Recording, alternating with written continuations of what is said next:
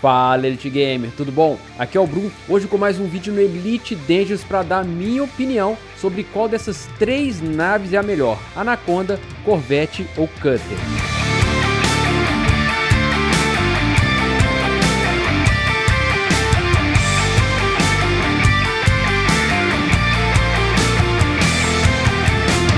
Antes da gente começar aquele recado rápido para você aí que ainda não é inscrito no canal, que eu sei que tem muita gente que assiste, mas ainda não se inscreveu, não esquece de se inscrever embaixo porque o nosso foco aqui é Elite Dangerous. Então se você curte esse game, não deixe de ativar as notificações também para não perder nada, beleza?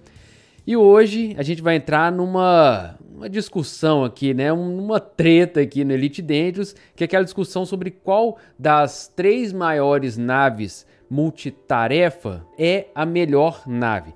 Eu não vou levar em consideração a Beluga nem a Type 10, porque a Beluga é mais voltada ali para transporte de passageiro e a Type 10 ela é muito diferente em muitos aspectos dessas três naves aqui, então vou deixar ela de fora também.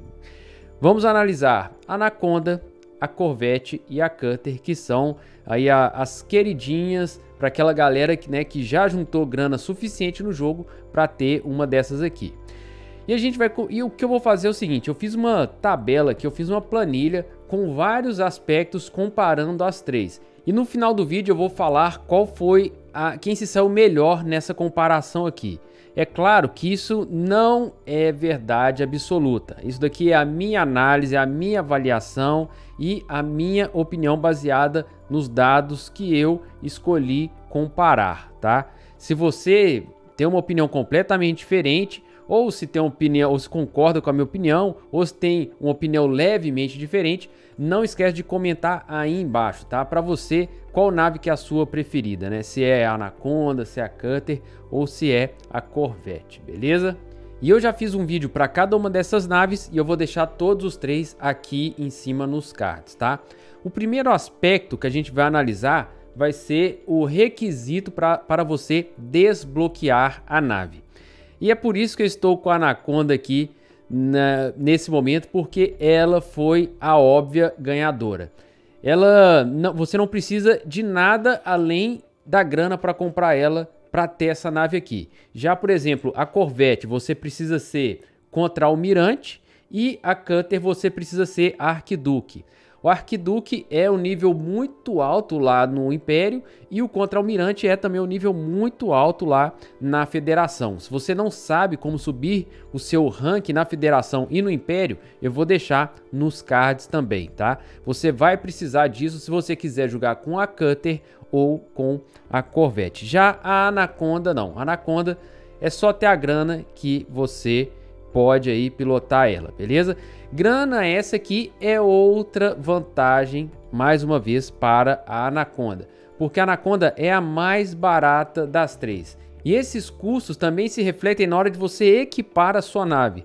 A Anaconda é a nave mais barata para você equipar, seguida da Corvette e depois da Cutter. A Cutter que, sim, ela com todos os módulos mais caros que você pode colocar ela. por exemplo, se você for fazer uma build de combate com shield prismático, você vai gastar muitos créditos para fazer isso, tá? A fuselagem reativa é cara pra caramba também. Ela a Cutter facilmente vai passar de um bilhão de créditos para você equipar ela e falar assim, essa aqui eu não, eu não consigo fazer mais nada, né? Já tá com o máximo que eu consigo. Já a Anaconda é bem mais modesta e a Corvette fica ali no meio. Mas chega de babar ovo da Anaconda. Vamos aqui para outra nave que, na minha opinião, é linda, mas eu vou falar isso um pouco mais para frente, que também é uma das características que eu analisei aqui. Mas vamos deixar essa característica lá para o final, que é a Cutter. A Cutter, ela ganhou quando a gente fala, por exemplo, de quantidade de combustível. Enquanto na Cutter você consegue carregar 64 toneladas de combustível, na Corvette você carrega 32 e na Anaconda você também carrega 32. Porém, a Cutter ela vai gastar mais combustível porque o frame shift drive dela é o maior dentre as três. Mas ainda assim, né, o, enfim, ó, o tanque dela é o maior. Então, nesse quesito de quanto combustível ela é capaz de carregar sem que você precise colocar slots opcionais com mais tanques de combustível, nesse, nesse quesito aqui ela sai ganhando.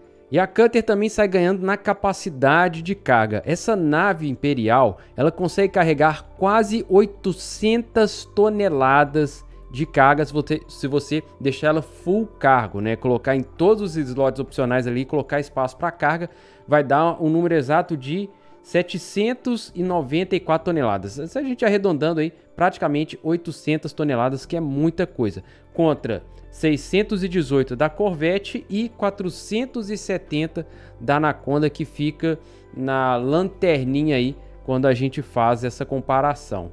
Voltei a colocar agora a Anaconda na tela porque a gente vai falar de alcance de salto e nisso a Anaconda dá um banho nas outras duas naves. A Anaconda tem um salto muito, muito melhor do que a Cutter, que por sua vez tem um salto um pouco melhor do que o da Corvette, tá? A Cutter eu ainda arriscaria uh, explorar com ela. Agora a Corvette aí você vai ter que ter muita paciência para explorar de Corvette. A não ser que você faça muito engenheiro, coloque o, o, o booster de frame shift drive né, no motor de distorção de fase, aquele Guardian, para conseguir mais 10 de salto. E ainda assim tem que ter bastante paciência para explorar com a Corvette.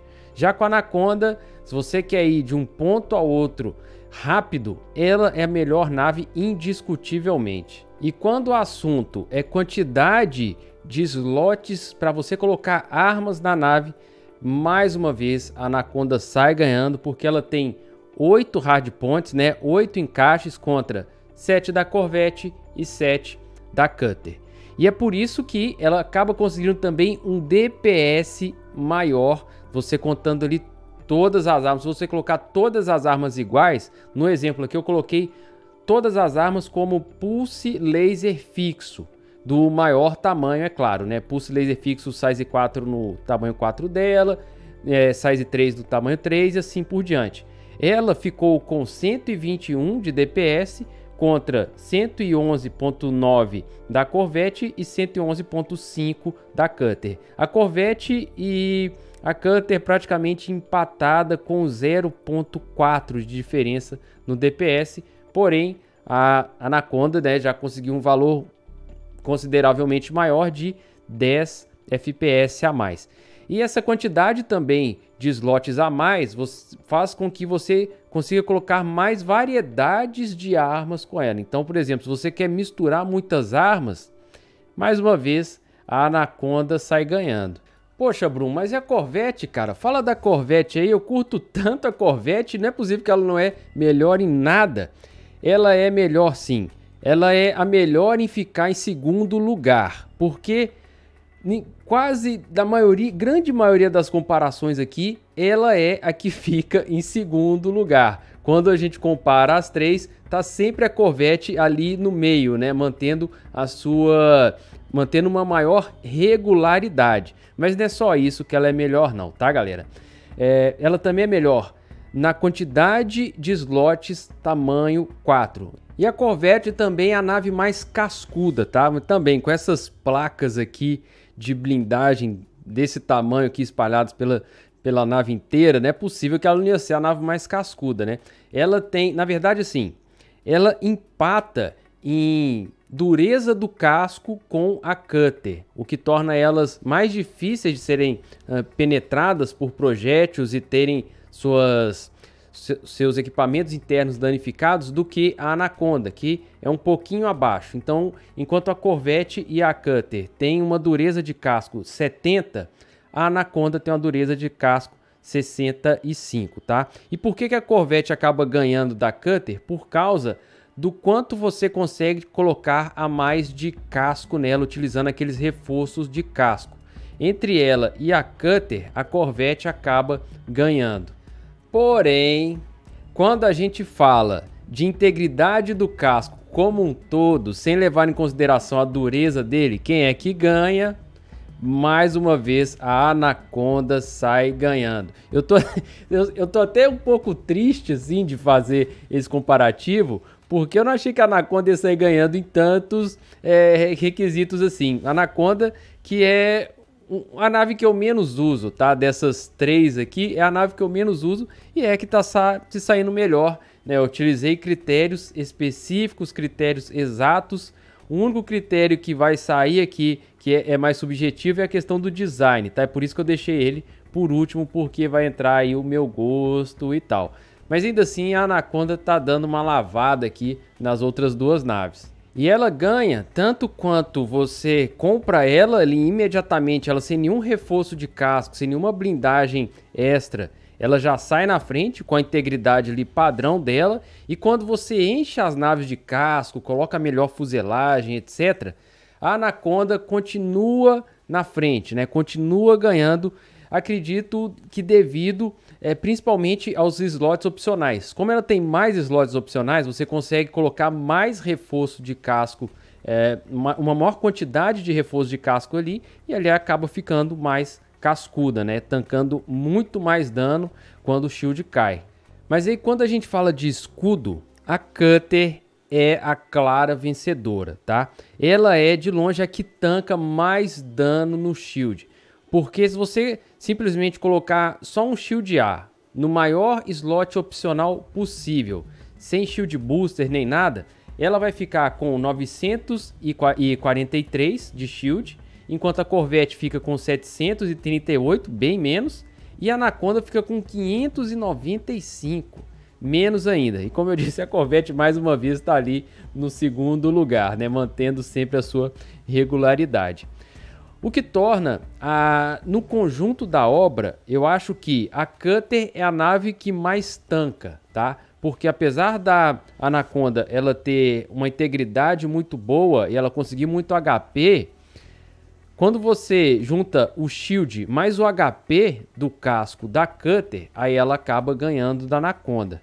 A Cutter também vai ganhar na velocidade máxima, então pelo jeito esses seis motores aqui principais dela acabam fazendo uma diferença aí nessa velocidade final.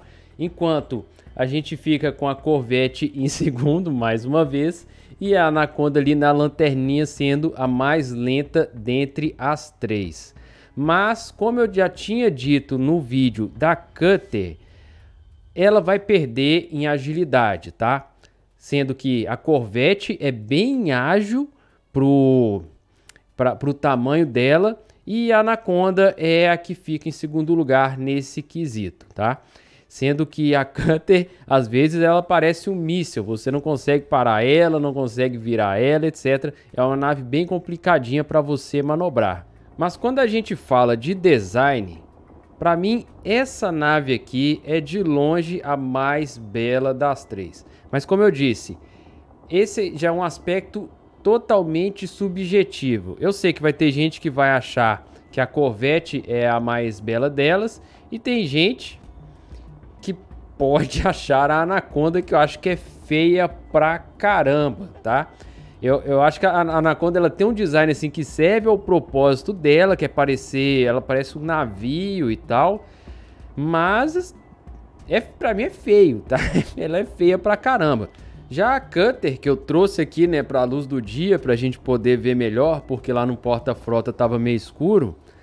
É, eu gosto até de explorar com ela, porque eu acho que as screenshots saem muito mais belas com a Cutter. Essa daqui tá com um, um kit, né, no, no corpo dela para fazer algumas modificações estéticas, mas sem ele também eu acho ela linda. Assim como a Corvette também, a Corvette que eu mostrei também tem esse um kitzinho para fazer algumas melhorias, algumas modificações estéticas. O, o, o, da Anaconda, sério, eu não tô mentindo. Eu cheguei a comprar uma vez o kit estético da Anaconda e eu pedi reembolso.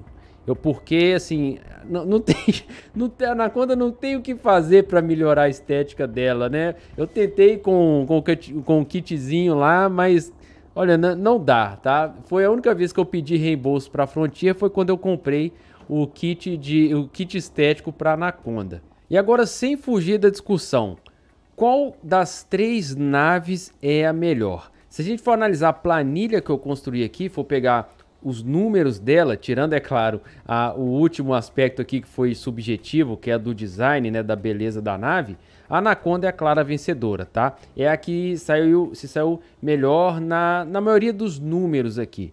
Porém, quando a gente analisa cenários, situações, aí eu acho que uma nave vai se sair melhor que a outra. Por exemplo, a Cutter, para você fugir, para você dar um desengage de uma batalha, ela é melhor porque ela é muito mais rápida.